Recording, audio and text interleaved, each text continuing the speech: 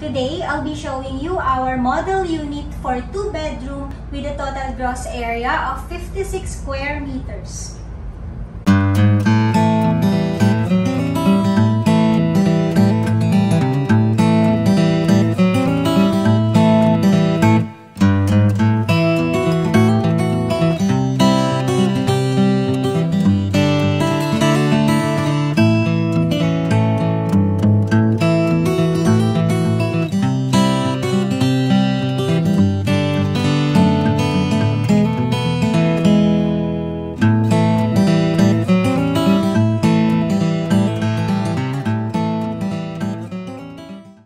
About the MCI properties, construction updates, and upcoming projects, you may subscribe to my YouTube channel or you may reach me through my contact details posted in the description below. Thank you for watching!